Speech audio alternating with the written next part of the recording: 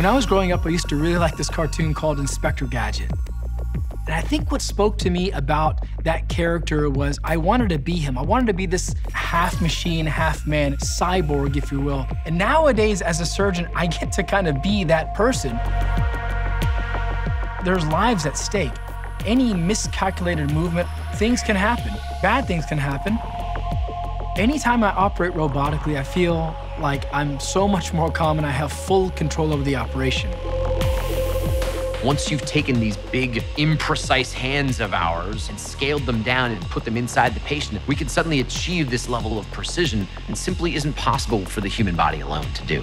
The thing is, that's taken tens of thousands of hours of engineering and development and working through problems to be able to get to this point.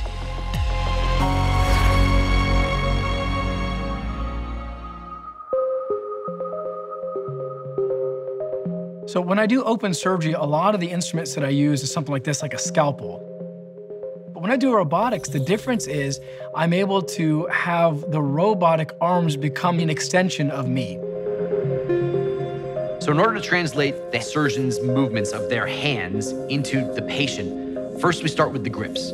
There's sensors in those grips, which sense, obviously, how open and closed things are, how much my wrist has moved, how much have I moved in and out or left and right in space. Once those sensors have captured those vectors in 3D space, that information is sent to the vision cart. The vision cart then applies algorithms on top of that to then translate those big, gross motions of the surgeon's hands into microscopic motions inside the patient. On the other side of the room, those series of algorithms control a series of motors and cables, which in turn control the instrument tips inside the patient. The time in between what's going on here in the surgeon's hands and what's going on inside the patient is called latency. And that latency needs to be measured in milliseconds for things to be safe. So when I'm operating, I may see some tissue bleeding. And if I don't react to that tissue bleeding by stopping it somehow, by grasping it and cauterizing it, that could be a serious problem. Removing latency from the system at the millisecond level is a constant battle so much work goes into making the software code as efficient as possible. We make sure that the translation of that signal using fiber optic cables to be as fast as possible from one component of the robotic system to another. The more latency, the less safe this is. So just like you have two eyes in your head and you need both of those to create depth perception, we have two eyes on the endoscope inside the patient.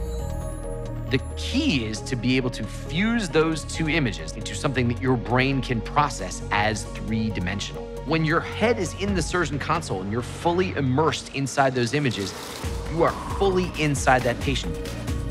Doing an operation on Da Vinci is completely different than doing an operation with laparoscopy because I was able to regain that three-dimensional experience and move around structures and see exactly how that structure would look in the real world as opposed to a two-dimensional screen. Lots of things can mess up your visualization. Yes, the organs are roughly placed in the same spot, but everyone, just like on the outside, is shaped a little bit differently on the inside. Firefly is a specialized imaging system which enables that surgeon to be able to see things that they can't see with the naked eye. Firefly relies on shining a specific wavelength inside the patient to excite a molecule. It's something that's injected into the patient either before their surgery or during the surgery. When Firefly mode is activated, we shine a near infrared light inside the patient. And what happens then is that the patient's blood reflects back that light of that near infrared wavelength. It actually lights up green inside the patient and very differentiates where there's blood and where there isn't. It's like night vision for surgeons. All the lights go dark and all I'm seeing is a big green glow of tissue. I'm a patient. I've had a Da Vinci surgery. My father was a patient. He had a Da Vinci surgery. In my everyday, I'm charged up about what we're doing, about building better products.